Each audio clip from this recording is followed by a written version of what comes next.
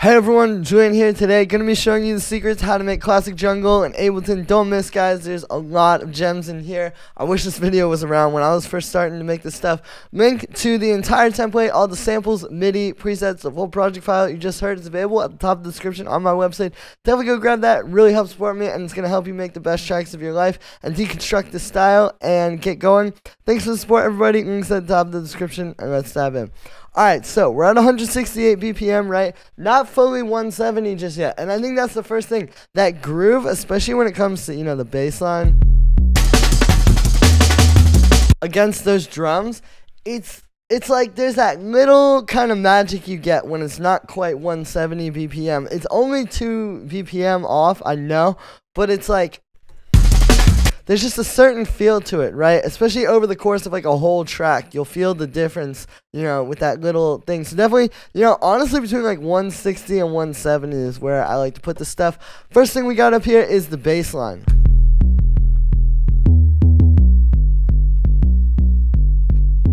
Now, this is a very simple sound. It is literally just an 808 kick, right? Now, I'm trying to show you guys how they did it back in the day. We could sit here and synthesize this pretty easily, right, with Operator or something like that.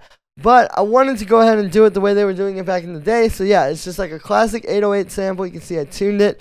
And then I've got a little bit of filter drive on that you know, just to make it a little bit warmer and more analog. It's really more about the notes with this one, though. So what we're doing here is we're kind of jumping between two chords. Well, really between three chords, because we're going D sharp, and then up to this F sharp. And I guess it's four, because then we go C sharp, and then A sharp, right? So it's all in that D sharp minor scale, right? Like if you were looking at this, it would be like root note, minor third, minor seventh, fourth. Excuse me, fifth. And really, it's just following where those pads are going. You can hear those harmonically fit together. But really, the thing with this is this eighth note groove, this do do do do do kind of thing with the octaves. And when you make this, you know, it can seem daunting to kind of get that groove. The secret is that it's bouncing off of the drums. Like these two really need to be working together. So really what you want to do is get the drum break going. Like just have fun, chop some breaks up, find a groove you like, and then write the bass line to that. It's really like the bass line, although it might seem complicated on its own, it's very simple if you simply make it fit with what chords you're playing, right, with like your melodic elements, and then make it groove off of the drums and this kind of a bass line will come together quick. I'm spending a lot of time on it because I know these can be confusing. And when I used to hear these tracks, you know, I would try to do it with an 808 and it wouldn't quite get the same. And it's because you need to understand that it's not about like what the 808's doing. It's really what the drums are doing, and then this is working with that. So if you're starting a track like this, really, I would start with the drums and then do this bass. So for the drums.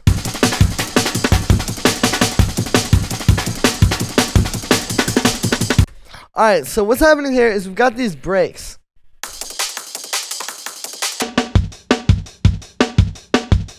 So it's really like this one is kind of like the main break, right? This is where we're getting our kick and our snare from.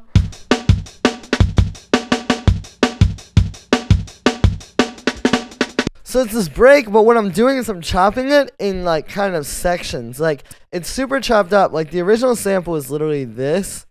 This is from that classic Jungle Warfare sample CD, by the way, that a lot of those tracks were made with back in the day. This break, the way this sounds,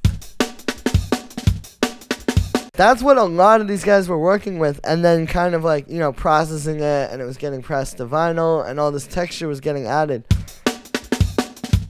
But that's what I started with, and again, you can hear, you can just get like a solid kick and snare from that. And then what I did is I took it and just chopped it Right? And we have this one following that.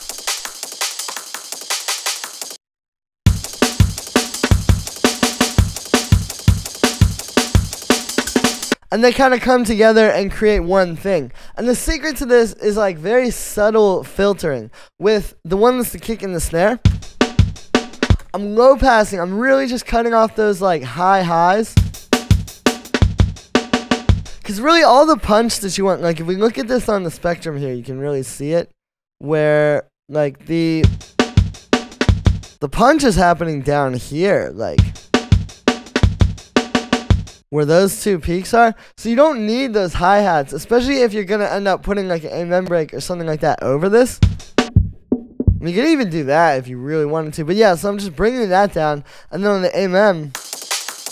So it sounds like this. You can hear there's a lot of kick and snare in there, but there's also a lot of good highs. So I've got a little bit of Drum Buss to just kind of give it, again, like I said, like they were working with these really clean breaks, but then adding texture through like resampling them and putting them through different tape processes. So that's kind of what this emulates. Right, that sounds a lot more like 90s jungle. And then we're high passing it. So you're really just, this is almost like a top loop. But when you put these together and they're chopped at the same time doing the same things, you get this really fat compound break that's the best of both of them. Now, what's happening is it started with that, but it needs something a little more under it. Like this alone is a solid break, but it, to really get that jungle groove, it needed something a little bit more crazy. So then I added this. This is this chopped up Soul Pride, also from Jungle Warfare. Right, Soul Pride is like a famous James Brown break. I'm pretty sure I've got.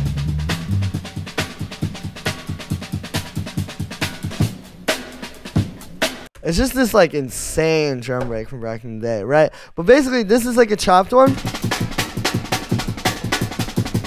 With all that percussion going crazy. So then I've got that, and then if you put that with the others, even if it's not playing at the same time, when the hits are kind of not lining up, like let's say there's a snare here while these are playing the hi hats, you get a really nice groove. It goes from this to this. Right, and it adds that like hectic, insane kind of feel that really like I think without that it, it's a little bit too dry. It doesn't really feel like crazy jungle, right? So then on the group, you can see I got the saturator. It's not doing a whole lot. It's on the medium curve setting. So when you bring that in, it does make things a bit fatter. But then I'm blending it. It's just a little bit. Because if you do too much of that, you can definitely destroy these pretty easily. So we're just like 16%. All you need, just a little extra kind of emulating tape or something like that. And we got the breaks working together. Then we have the pad.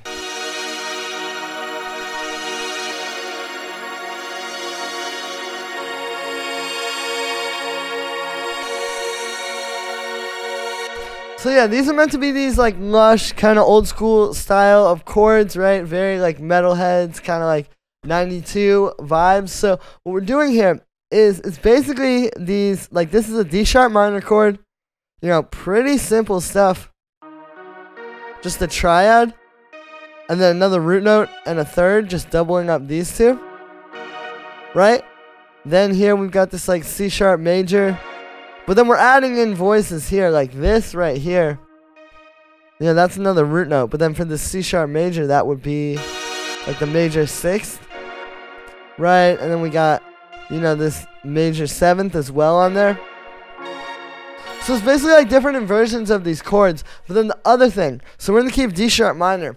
Up top, we are droning the fifth. You can see we've just got this constant fifth playing up there. So that's a big part of it too. The fact that like every chord has that voice playing against it. So that's gonna change how it sounds, and that's gonna change. It's also gonna help these chords kind of relate to each other. Like if you just do this, right? They're all over the place. But then if you do this. See what I'm saying? It kind of like, you know, ties the whole thing together for the actual sound on this, we're using two layers. And this is really meant to recreate, you know, back in the day, a lot of these pads and stuff were made with like the Korg M1 and these different kind of like romplers, like crazy samplers from back in the day where it was these patches with like, you know, there'd be like a string and then like an FM pad and then like animals call like those things sound crazy, right? And if you have the Korg M1 VST, It can definitely be good for that. But also, there's a way to just get that same kind of layering pretty easily in Ableton. And what we're doing here is simply just layering together a string sample,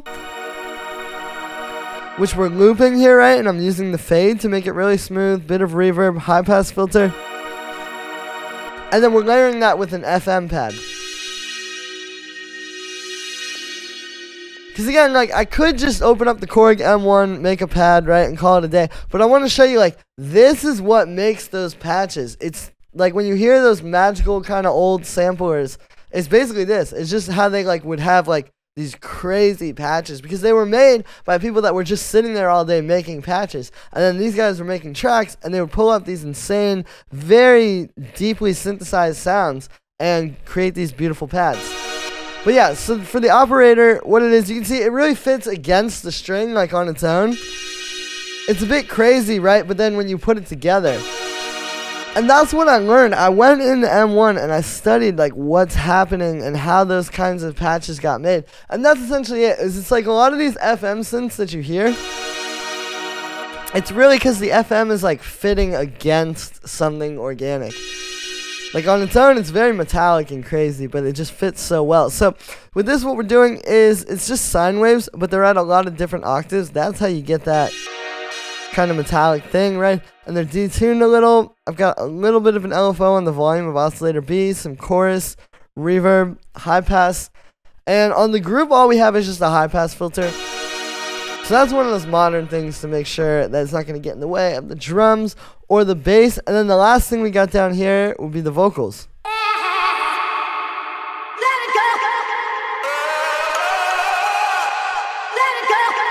So we got these three different vocals, right? On their own, they're pretty simple. You know, not that crazy. Some of them I had to warp a little bit to get them really in time, right? You can see this one's pretty heavy. But you know, it makes it work really well with the track. We got really just a bit of delay and reverb on those. I think what I want to show you is there's no magical vocal processing, right? Like I'm sure if I made a video right now, ooh, perfect jungle vocal chain, a bunch of people would be like, whoa. But it's really just reverb and delay. It's not that much. I mean, maybe some overdrive or something like that, a bit of filtering at the end to clean it up. It's really about the vocal though. It really is. Like, and I think that's the problem with all that vocal chain stuff is like it's not about what you're putting on it. It's like this vocal like has really cool notes in it. So if you put that into a long reverb, it creates something beautiful. Same thing with this. Like that just sounds good getting delayed and reverb. And I think it's really about getting really good vocals, not about the processing, you know? It really like and then also how they're going to fit with all of this. Like it's way more about that interaction harmonically than it is about like what you put on the vocals.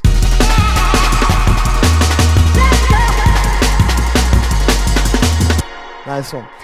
Alright, so that's gonna be it for this one, guys. I hope you enjoyed. As always, make sure to like this video as well as subscribe. And let me know what you think of this video in the comments. Like I said in the beginning, you can get this full template. Literally every single element is available at the top of the description on my website. Definitely don't miss out, guys. You can get this and really get started with these jungle tracks. I know it can be hard to understand at first, but this is really gonna help you get where you're trying to get. Plus, it really helps support me. I don't make a whole lot off of YouTube. You guys would laugh if you saw the numbers.